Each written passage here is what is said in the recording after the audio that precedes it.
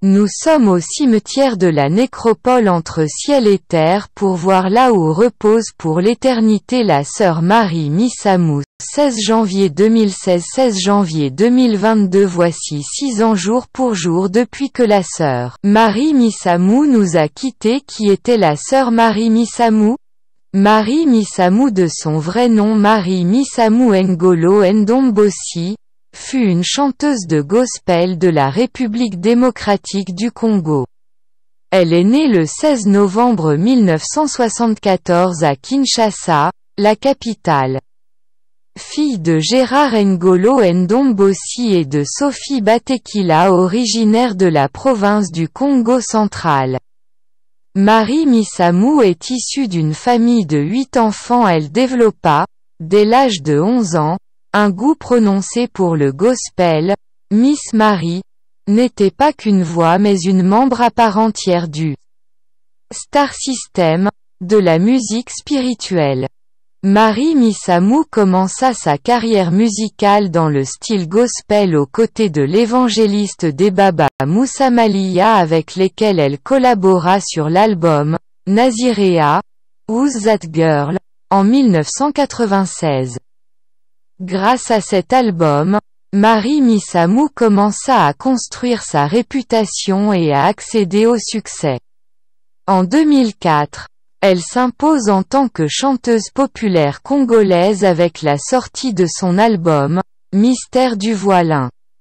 Quatre ans plus tard, en 2008, le deuxième volet de ce premier album lui permet d'asseoir sa notoriété en Afrique et en Europe, notamment grâce à ses collaborations avec des artistes musiciens chrétiens comme Charles Mombaya. Il fallut ensuite attendre plus de six ans pour la sortie dans les bacs du troisième volume de son album, Mystère du voile, La résurrection, dans lequel elle chante aux côtés de sa fille Ruth. Les titres ayant un clip tiré de son dernier album Ma Saison, Reconnaissance et Nzambe Yaba Défi. Sa voix, son répertoire, son style. Son talent multiforme l'ont fait connaître bien au-delà des frontières de la République démocratique du Congo, très engagée religieusement.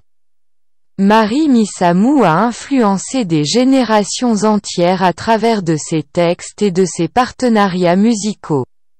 Ses talents de comédienne, styliste, maquettiste, décoratrice, couturière et même cinéaste lui ont permis de construire une véritable renommée en tant que femme, croyante et artiste. On lui doit huit albums solo. Nazirea Valley Yabaka Ma prière Béatitude Mystère du voile 1 Mystère du voile 2 Mystère du voile 3 La résurrection. En plus de la musique, elle fut styliste, modéliste, couturière et décoratrice. Elle a aussi participé à un film, Les habits neufs du gouverneur, où elle donne la réplique à Félix Oisequa et au théâtre du groupe Synarque dont elle travailla avec Caleb Toukebana, Le feu dévorant. Dévoilé en 2003. Sadakama, et Bamaman Bokilo, dévoilé en 2015. Après avoir annoncé son retrait de la scène musicale au début de l'année 2016. Elle perd la vie quelques jours plus tard, 16 janvier 2016, à l'âge de 41 ans, suite à un malaise cardiaque. Pour beaucoup, elle était un phénomène de la musique chrétienne et sera au monde entier un patrimoine musical et artistique sans précédent forgé dans la passion de Dieu. À la surprise générale, âgée de 41 ans, elle décède le 16 janvier 2016 d'un malaise cardiaque à la suite d'une retraite de prière. Sa disparition suscite une grande émotion populaire. En la mémoire de l'artiste. Sa fille unique, Ruth Misamu, chante en son honneur. À l'occasion du cinquième anniversaire de la mort de l'artiste, sa fille a organisé, le 16 janvier 2021, un concert live dénommé « Héritage ». durant lequel les chansons de Marie Missamou ont été chantées l'artiste ne meurt jamais car il demeure à travers ses œuvres à Dieu Marie Missamou repose-toi en paix.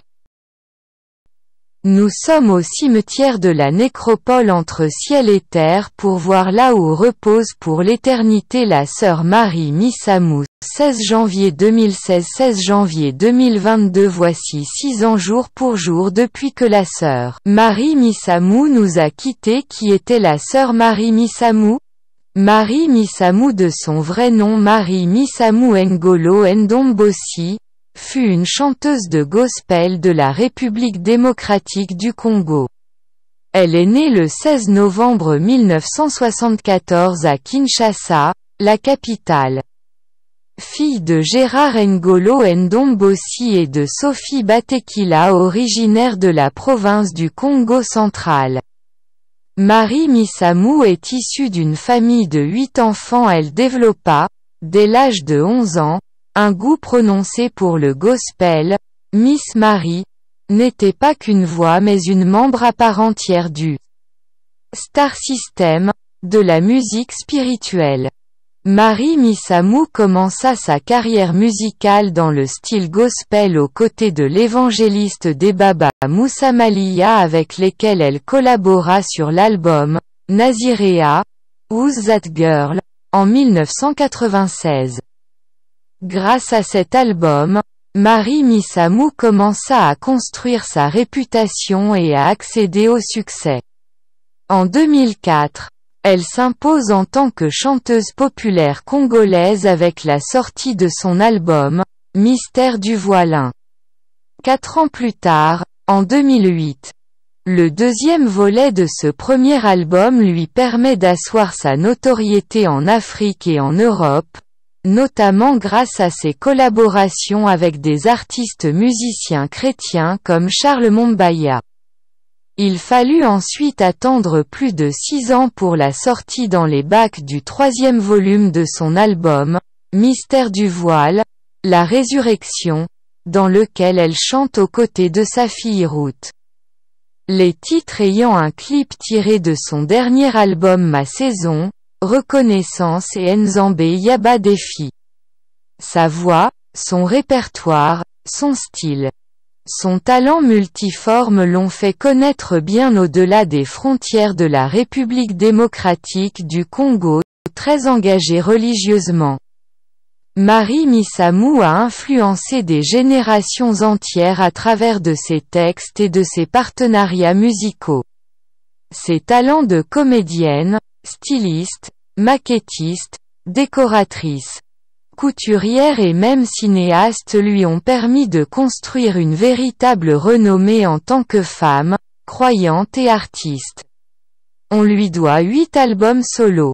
Nazirea Valley Yabaka Ma prière Béatitude Mystère du voile Un mystère du voile Deux mystères du voile 3 La résurrection. En plus de la musique, elle fut styliste, modéliste, couturière et décoratrice.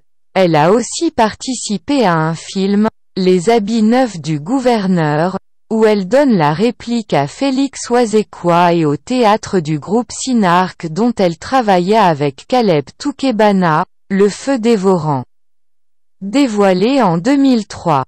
Sadakama, et Bamaman Bokilo, dévoilé en 2015. Après avoir annoncé son retrait de la scène musicale au début de l'année 2016. Elle perd la vie quelques jours plus tard, 16 janvier 2016, à l'âge de 41 ans, suite à un malaise cardiaque. Pour beaucoup, elle était un phénomène de la musique chrétienne et sera au monde entier un patrimoine musical et artistique sans précédent forgé dans la passion de Dieu. À la surprise générale, âgée de 41 ans, elle décède le 16 janvier 2016 d'un malaise cardiaque à la suite d'une retraite de prière. Sa disparition suscite une grande émotion populaire. En la mémoire de l'artiste. Sa fille unique, Ruth Misamu, chante en son honneur. À l'occasion du cinquième anniversaire de la mort de l'artiste, sa fille a organisé, le 16 janvier 2021, un concert live dénommé « Héritage » durant lequel les chansons de Marie Missamou ont été chantées L'artiste ne meurt jamais car il demeure à travers ses œuvres Adieu Marie Missamou repose-toi en paix.